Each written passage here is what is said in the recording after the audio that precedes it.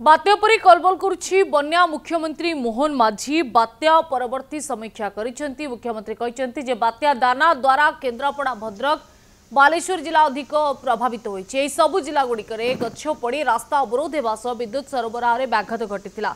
ଭଦ୍ରକରେ ଜଳବନ୍ଦୀ ସମସ୍ୟା ଯୋଗୁଁ ବିଦ୍ୟୁତ୍ ସରବରାହରେ ବିଳମ୍ବ ହେଉଛି। ବାଲେଶ୍ୱର ଜିଲ୍ଲାରେ ଗତକାଲି ସନ୍ଧ୍ୟା ସୁଦ୍ଧା ବାକି ଥିବା ସବୁ ରାସ୍ତା ଅବରୋଧ ହଟାଯାଇଛି। ପ୍ରାୟ ଏକାଅଶୀ ପ୍ରତିଶତ ଉପଭୋକ୍ତାଙ୍କୁ ବିଦ୍ୟୁତ୍ ସଂଯୋଗ ଯୋଗାଇ ଦିଆଯାଇଛି। ପାୱାର ରେଷ୍ଟୋରେସନ କାମ ଚାଲୁ ରହିଛି। ଶିମିଳିପାଳରେ ବର୍ଷା ଯୋଗୁଁ ବାଲେଶ୍ୱର ଜିଲ୍ଲାରେ ବୁଢ଼ାବଳଙ୍ଗ ନଦୀର ଜଳସ୍ତର ବୃଦ୍ଧି ପାଉଛି। ବାଲେଶ୍ୱର ଜିଲ୍ଲାରେ ଛଅଟି ଗ୍ରାମ ପଞ୍ଚାୟତର କୋଡ଼ିଏଟି ଗ୍ରାମ ବନ୍ୟା ଦ୍ୱାରା ପ୍ରଭାବିତ ହୋଇଛି। ମୟୂରଭଞ୍ଜ ଜିଲ୍ଲାରେ ବିଦ୍ୟୁତ ସଂଯୋଗ ସ୍ୱାଭାବିକ ହୋଇଛି। ବୁଢ଼ାବଳଙ୍ଗ ନଦୀର ଜଳସ୍ତର ବୃଦ୍ଧି ଯୋଗୁଁ ପ୍ରଶାସନ ଓଡିଆର୍ଏଫ୍ ଫାୟାର ସର୍ଭିସେସ୍ ସମ୍ପୂର୍ଣ୍ଣ ରୂପେ ସଜାଗ ରହିଛି। ବାତ୍ୟା ଦାନା ଦ୍ୱାରା ଯେଉଁ ଏଗାରଟି ଜିଲ୍ଲା ବିଶେଷ କରିକି ପ୍ରଭାବିତ ହେଇଥିଲା ସେମାନଙ୍କ ମଧ୍ୟରୁ ସବୁଠାରୁ ବେଶୀ ପ୍ରଭାବିତ ହେଇଥିବା ଜିଲ୍ଲା ସଂଖ୍ୟା ହେଉଛି ତିନୋଟି।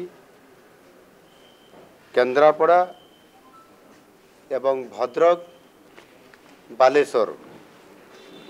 ଏବଂ ଏଇ ଜିଲ୍ଲାଗୁଡ଼ିକରେ ବିଶେଷ କରିକି ଗଛ ପଡ଼ିକି ଆପଣଙ୍କର ରାସ୍ତା ଅବରୋଧ ମଧ୍ୟ ହେଇଥିଲା। ଏବଂ ସେ ଜିଲ୍ଲାମାନଙ୍କରେ ମଧ୍ୟ ବିଦ୍ୟୁତ ସରବରାହ ଯେଉଁ ଆମର ରେ ସମ୍ପୂର୍ଣ୍ଣ ଭାବରେ ବିଦ୍ୟୁତ ବିଚ୍ଛିନ୍ନ ହୋଇଯାଇଥିଲା ସେଥିରେ ଇଲେକ୍ଟ୍ରି କଟ୍ ଅଫ୍ ହୋଇଯାଇଥିଲା। ଏଣୁ ବିଶେଷ କରିକି ଏ ତିନୋଟି ଜିଲ୍ଲାରେ ପାୱାର ରେଷ୍ଟୋରେସନ୍ କରିବା ପାଇଁ ପ୍ରଥମ କଥା ହେଲା ରୋଡ଼ ସେକ୍ଟରରେ ସବୁ ପି ଡବ୍ଲ୍ୟୁ ରୋଡ଼ ଏବଂ ଆର୍ ଡି ରୋଡ଼କୁ ଯେଉଁଠି କଟଅଫ୍ ଥିଲା ତାକୁ ଗତକାଲି ସନ୍ଧ୍ୟାରେ ହିଁ ତାହାର ସମ୍ପୂର୍ଣ୍ଣ ଭାବରେ ସେ ରୋଡ଼ ଗୁଡ଼ିକ ଗଛ କଟା ହେଲା ପରେ କେଉଁଠି ବି କିଛି ଯେଉଁଠି ରାସ୍ତା ଖରାପ ହେଇଯାଇଥିଲା ତାକୁ ପୁନର୍ଭା ଭାବରେ ସେଠି କମ୍ୟୁନିକେସନ୍ ଯୋଗାଯୋଗ ସମ୍ପୂର୍ଣ୍ଣ ଭାବରେ କରାଯାଇଥିଲା। ଏବଂ ଯେଉଁଟା ଆମର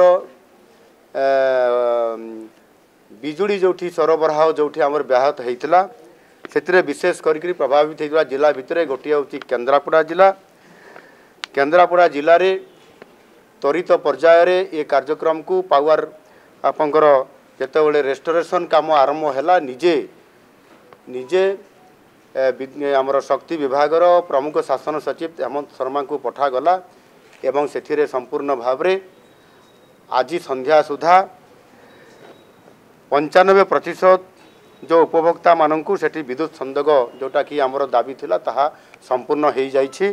ଏବଂ ଆଜି ରାତି ଭିତରେ ହିଁ ବାକି ଯେଉଁ ରହିଲେ କେବଳ ପନ୍ଦର ହଜାର ଏଥିରେ ବିଦ୍ୟୁତ ଏ, ସଂଯୋଗ ଉପଭୋକ୍ତା ଅଛନ୍ତି ସେମାନେ ମଧ୍ୟ ଆଜି ରାତି ଭିତରେ ସଂଯୋଗ ହୋଇଯିବେ